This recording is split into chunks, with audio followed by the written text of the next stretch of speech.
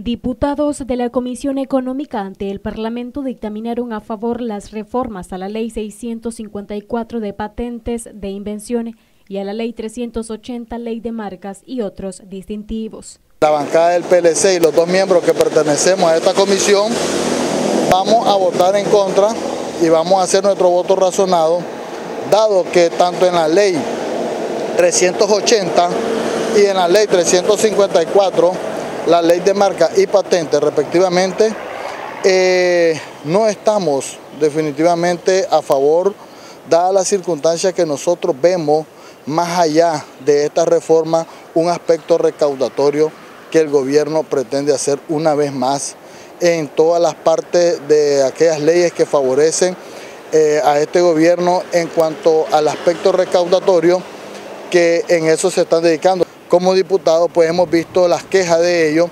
Y en este caso y, milagros y que, fueron consultados y presentados eh, ante esta comisión eh, de presupuesto de, la Asamblea Nacional como es la Cámara de Comercio y Servicios de Nicaragua y la Cámara de Comercio Industriales, ¿verdad? que vinieron y definitivamente eh, ellos están en contra de todo este proceso de esta reforma. El parlamentario opositor refiere que esta medida viene a ahuyentar la inversión extranjera. No podemos violentar ni tratar de incrementar, por eso le digo que esto es más que recaudatorio.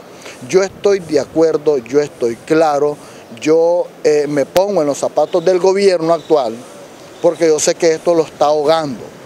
Pero lamentablemente este gobierno es lo que ha provocado, por eso Nicaragua necesita el cambio, Nicaragua necesita un alivio para que realmente aquí puedan lograr venir inversiones, lograr venir eh, eh, a, implementar nuevos negocios, pero lamentablemente con estos, con estos atropellos, con esta posición que tiene el gobierno de presionar tanto a la empresa privada, porque esto es más que dirigido a la empresa privada, ¿verdad? lo que hacen nada más es ahuyentar y correr eh, eh, el clima, un negocio nuevo o venir a traer negocios a nuestro país. Entonces, esto lo que ahuyenta es más inversión. Noticias 12, Anduriña Ortiz.